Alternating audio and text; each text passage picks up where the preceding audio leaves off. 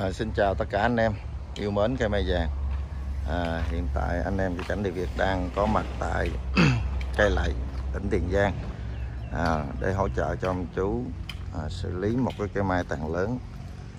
À, chú trình bày là cái cây này là sau Tết thì nó ra lá rất là ít và bây giờ lá nó vàng nó mỏng thì trước mặt anh em là một cái cây hoành 80 ha.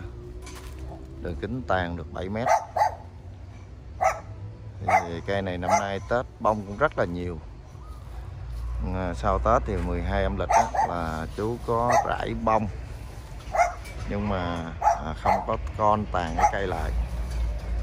Và cây nó đã ra lá ở những cái đuôi lá như thế này.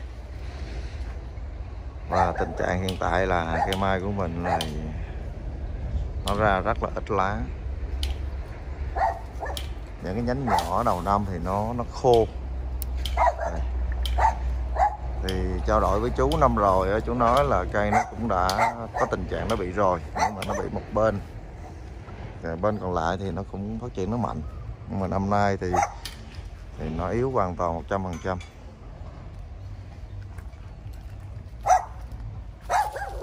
Cái cây này nó có cái hình cái củ để đế cũng khá đẹp.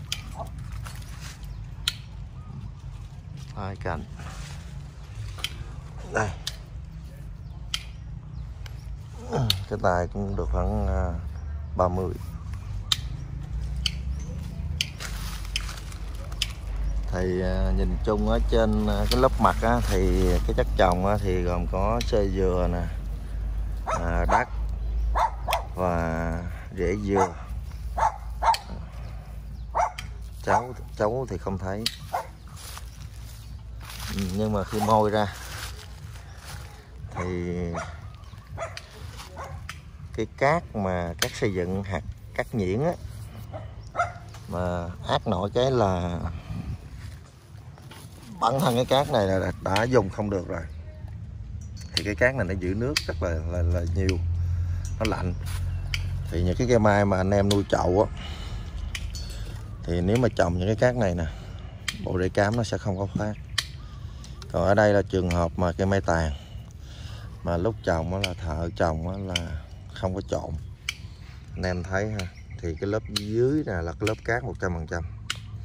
Là nó nằm ở bộ rễ của cây mai. Rồi cái lớp trên mới là đất với rễ dừa. Thì cái cái cái chất trồng này là để nuôi cây nè. Nhưng với điều kiện là rễ cây mai nó nó phải ra rồi nó gặp cái cái cái rắc này nè nên là cây nó mới tốt. Nhưng mà ở đây là cái cái lớp này nó nằm ở trên cùng còn cái lớp mà để kích rễ cái mai khi mà khi mà trồng á thì à, lại không có chọn thì đây là chính là cái nhược điểm mà cây cảnh Đại Việt đã từng chia sẻ nói rất là nhiều lần. Nếu chúng ta dùng cát thì phải tìm được cát hạt to thì cát như cát Tân Châu, cát Đồng Nai, cát núi, cát Campuchia. Hạt cát nó to thì nó thoát nước rất là tốt và nó nó mát nó giúp cây mai nó ra rễ rất là là nhiều và nhanh trong cái quá trình mình kích rễ. Còn cái cát này là không bao giờ dùng được. Nếu không có thì chúng ta không dùng cát luôn. Chúng ta có thể dùng xe dừa nè chấu sống nè à, đắt với rễ dừa thì rất là cũng ok. Thì cái cây này à, thời điểm đầu trồng á do cái cây nó mạnh thì nó vẫn phát triển tốt. Nhưng trong cái quá trình mà mà kích rễ cho cây á, thì cây nó nó ra rễ không có nhiều. Nói chung nó vẫn có ra rễ nha. Nhưng mà thời gian mà để nuôi cây mà với cái cát này á, thì không ổn chút nào. Dẫn đến là hai ba năm sau là bắt đầu cây nó sẽ nó yếu sẽ xuống dần. Ừ, thì khi cây mà rễ lông nó không có nhiều thì nó không có lấy dinh dưỡng lên được. Thì cái bộ lá của cây mai nó thứ nhất là anh em thấy nó không có lớn rồi sau đó là nó tổng hợp dinh dưỡng lên để nó nuôi lá lá dày thì không có là lá không dày. Nó vàng nó mỏng. Rồi gặp nắng thời tiết nhiều nó sẽ bị cháy. Và cây mất sức nhiều thì nó sẽ không ra lá nhiều. À, cộng với cái việc đầu năm là không có tỉa cái nhánh tỉa bỏ bớt mấy cái nhánh nhỏ đó thì buộc cây nó sẽ ra ngoài cái đuôi lá đây. Thì những cái cây mai nó mạnh á, thì trường hợp như thế này á, thì nó vẫn ok nhưng mà cái bộ lá nó không nhiều thôi. Ví dụ như cây này nè anh thấy không? Lá nó vẫn nhiều ha. Còn những cái cây mà mình bấm mình tỉa đó thì nó sẽ ra nhiều dày. Thì cái trường hợp đây em quay cho anh em thấy nè. À, cái đây cũng là một cái cây anh em thấy là cũng có vấn đề phải không? Ừ. Ừ. và đây là cái lỗi mà rất nhiều bà con anh em tại vì ít có ai tỉa và cây này thì anh nói là cũng yếu từ năm trước. Nhưng mà bây giờ nó cũng đang phục hồi nó đỡ hơn nhiều rồi. Nhìn cái bộ lá nó vàng ha. Rồi cây bên đây nè anh em thấy nè. Khi có rút lại á, thì cái nó nó nó tốt nó phát triển như thế này. Ừ. Nó bắt được á, thì lá nó xanh nó dày.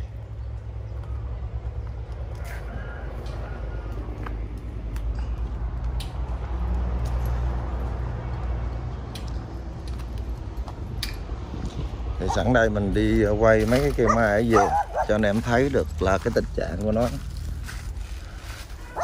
Ừ, đây mấy cây này là cũng ờ, cũng tạm ổn ha. Nhưng mà đây là chính là cái lỗi mà gặp rất nhiều tại vì nhiều anh em là nói chung không có tìm hiểu sâu với hay cũng không có thời gian để mà tỉa cây đầu năm. Ờ, cây bên đây thì nó cũng ờ, tạm ổn nè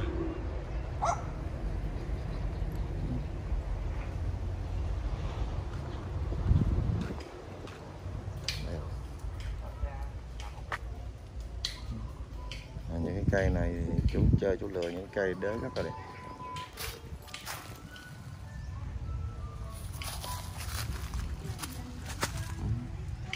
Những cây mua à, nuôi để sau này à, lớn lên nó có giá trị. Thì thường lựa những cây đế đẹp một cốt à, tay cành nóng đều thì giá trị nó rất là cao. Rồi quay lại cái tình trạng cái cây này ha. Thì bây giờ mình tìm được cái nguyên nhân và tại sao nó như vậy. Thì à, bước một á, là mình sẽ tỉa tàn cái cây này lại.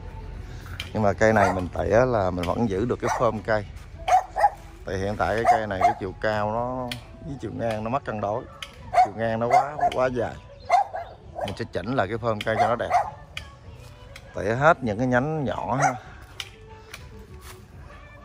mình sẽ giữ lại những cái nhánh kích thước to cái này thôi. Cỡ ống hút á. Để cho cây nó mạnh rồi cái bước thứ hai là sẽ lội bỏ hết cái lớp chất trồng này ra. Thì ở đây á, là mình sẽ tận dụng lại cái lớp trên. Cái lớp này nè. Là cái lớp đất cái xây dừa.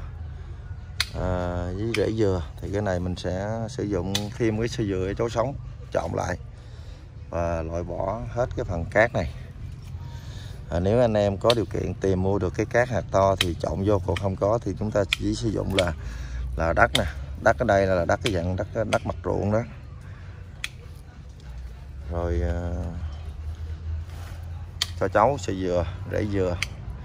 Mà rễ dừa thì phải băm cắt khúc khúc nhuyễn thì giúp cho cái chất trồng mình nó xốp rồi mình sẽ vô lại.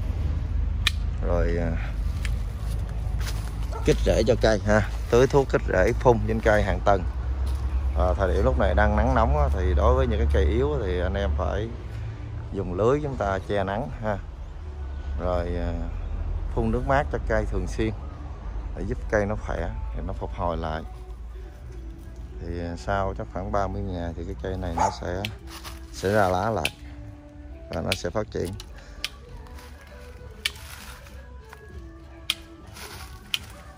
Cây này cái dàn tay cũng khá đẹp tay này được cũng được sửa này.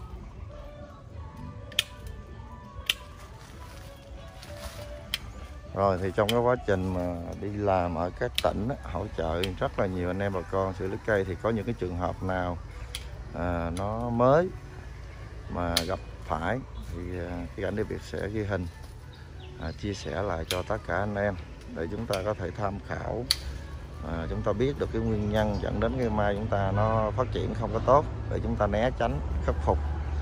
Để những cái mai của mình sau này mình trồng đó, nó không gặp phải. Và nó tránh được cái rủi ro cây nó si cây nó chết thì mất đi cái giá trị ờ, của cái cây cũng như là giá trị về tinh thần.